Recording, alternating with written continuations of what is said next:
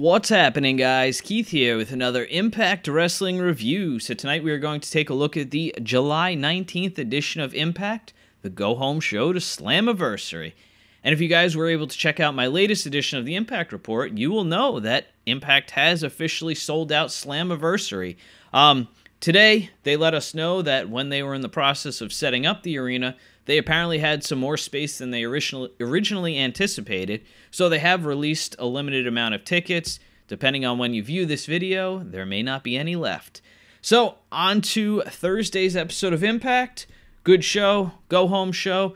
This was to sell you guys on Slammiversary. If you weren't already sold, I was very invested and I still am. So, they they already had me.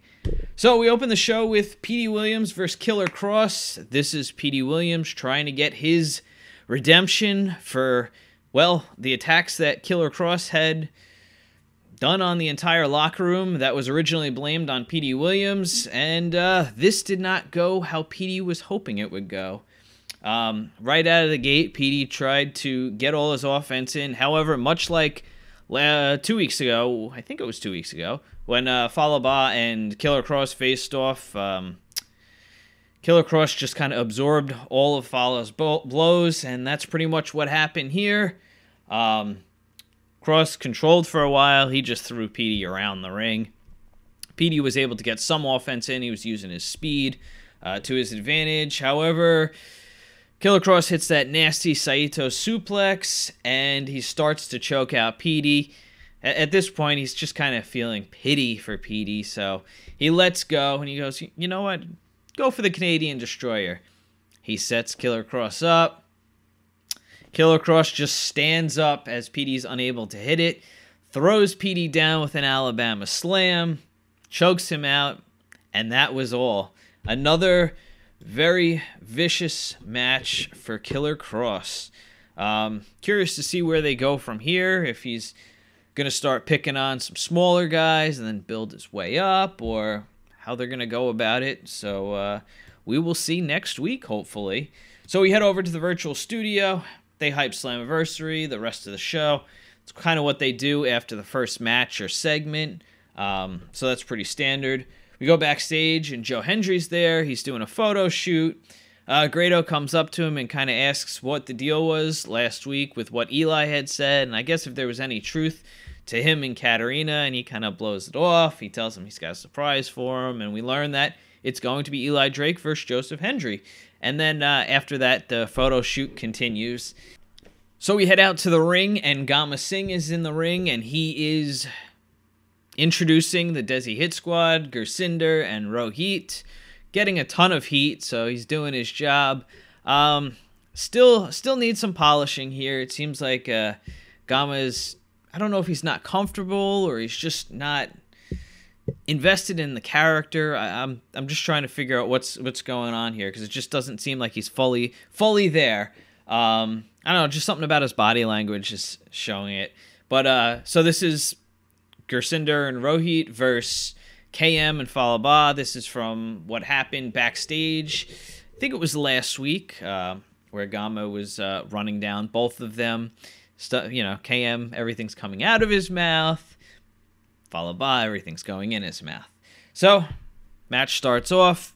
Bahh starting off strong using his size and strength.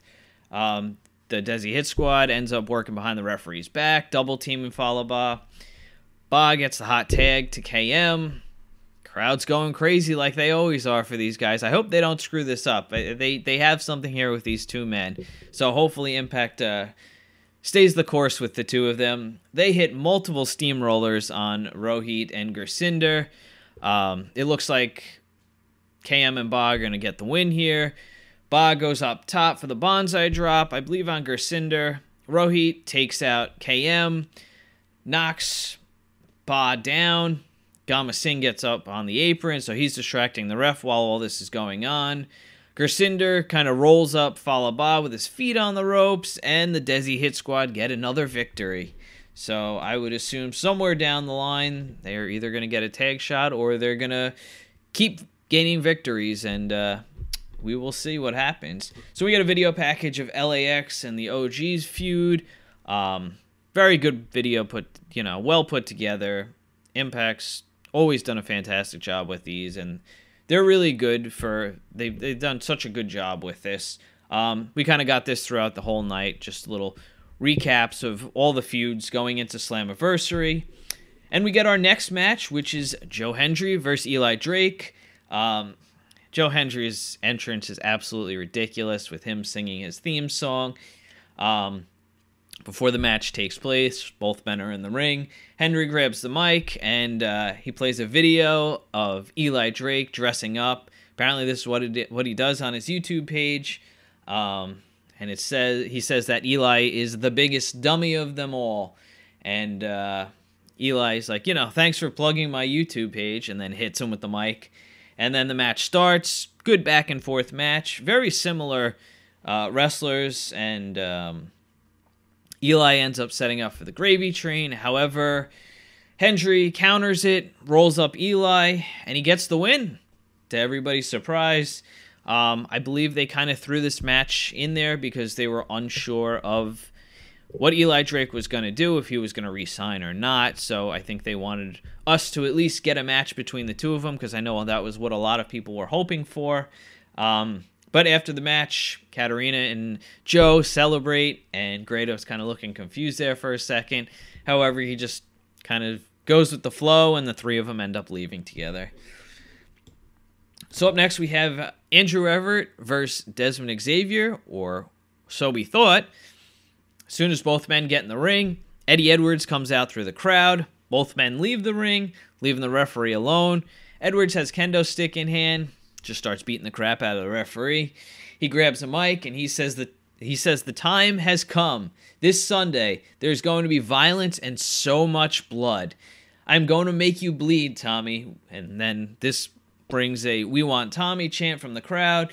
Uh, he says Dreamer will be laying in a pool of his own blood, and when he looks up, he is going to see Eddie is the true innovator of violence. At this point, some fan goes, "No, you're not." So that that was funny. I got a kick out of that. It was just perfectly timed. Um, and he tells Slam- uh, Tommy at Slammiversary he is going to be his never-ending nightmare. Um, this was definitely a promo from a madman who has lost touch with reality. Um, Eddie is just playing the role very well. Um, didn't expect this out of him, but he's doing a hell of a job. I'm really wondering where they go with this post Slammiversary. Um, oh, this part was fantastic. Um, more Madison Rayne, Su Yung stuff, and this is what has invested me in the match between the two of them. It has been everything outside the ring, and I'm glad Impact has been able to do that because like I said, I'm not the biggest fan of Madison Rayne. Um, she's a good worker, but as far as her character goes, but however, during all this stuff, she's been absolutely fantastic. So Madison Rayne wakes up. She's in a funeral home.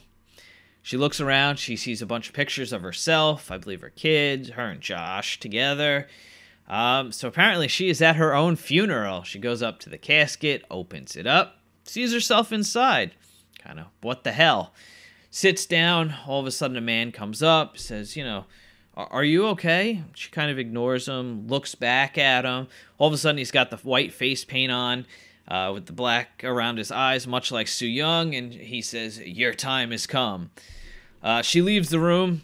All of a sudden, a little girl comes up to her, says, Are you, Do you know where my mommy is? She says, No.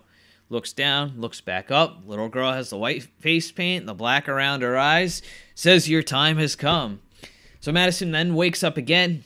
She's out in the forest, I guess, wherever they were last week.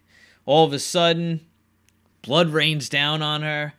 She's getting flashbacks of all that's happened between her and Su Yung and last week and everything preceding that.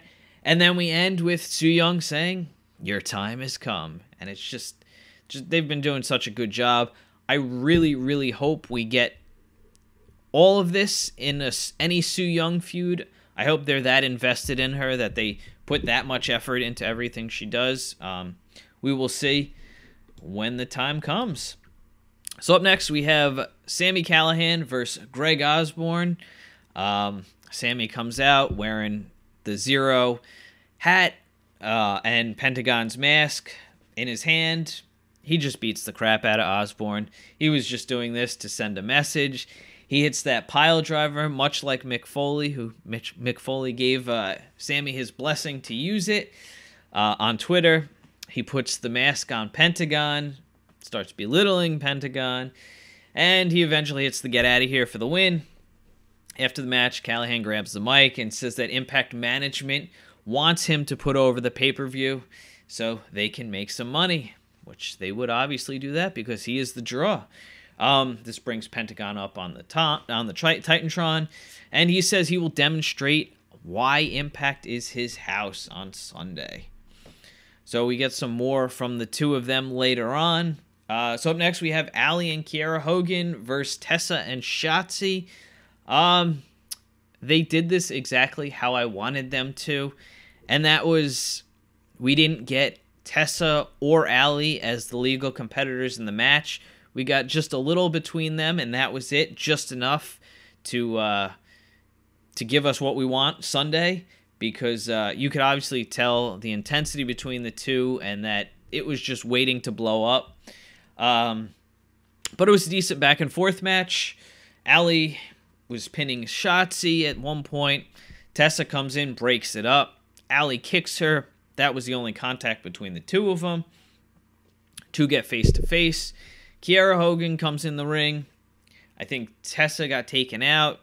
She ends up on the outside. Shotzi, a little later on, goes to tag Tessa in. Tessa drops off the apron says, I didn't sign up for this. This is your problem now. She leaves. Allie ends up hitting the code breaker on Shotzi, and they get the win. So, more good building toward their match at Slammiversary.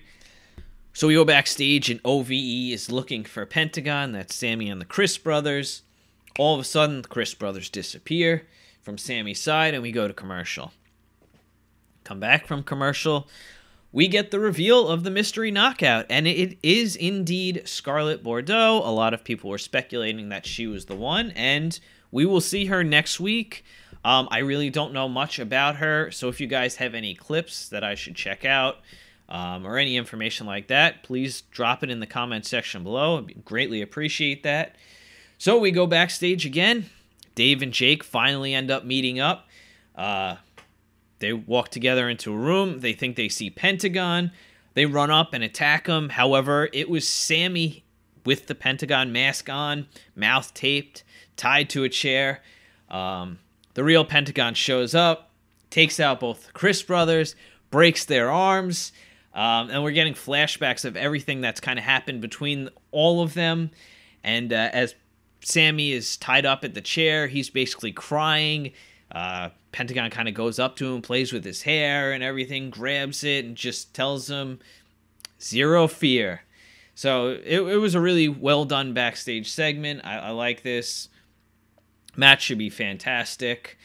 Um, but yeah, good stuff. And, well, I guess this is the main event. It's uh, Moose, and he comes out and he says that he's perfectly been uh, purposely been away from the impact zone for the last few weeks because he's been getting ready for Slammiversary. He calls out Aries, calls him a bitch ass, you know, the typical stuff. He says, you know, if you're not going to come out here, I'll come back there and find you. Aries pops up on the screen. He says, Moose, you're making this too easy for me. Uh, he says, "You're I'm playing chess while you're playing checkers," and he says, "I'm not coming out there." just because you decided to show up this week. So obviously, Aries was using this as a distraction. Moose is staring at the screen. Aries comes through the crowd, in enters the ring, low blows Moose, hits him in the back with a chair. Aries is, you know, kind of standing there holding the belt up high. Moose is able to get up. Aries turns around. He grabs Aries. Moose throws him into the turnbuckle, picks up the chair goes to take Aries' head off. Aries ducks, leaves the ring with his title in hand, looking scared. And that's the end of the show. So, not a whole lot going on, just kind of wrapping things up. Uh, I guess giving us some stuff to move post Slammiversary. We'll see what happens with Killer Kross, the whole Joe Hendry, Eli Drake, Grado situation. Um, considering Eli has re signed with the company, I'm wondering if they're going to actually get a full program between the two of them. Um, but yeah, that's uh, pretty much what I have for you guys tonight. Um, I will be joining Robert Does Wrestling's podcast to do a Slammiversary pre show tonight at 9 Eastern. Um, I'll leave you guys a link to his page that you can check out there. Tomorrow, I'll have my own predictions and preview show for Slammiversary. Uh, probably not going to do an impact report on Sunday, but I will catch you guys Sunday evening for my Slammiversary review. So, thanks for checking out my video, and until next time, don't forget to like, share, and subscribe. Thanks, guys. Bye.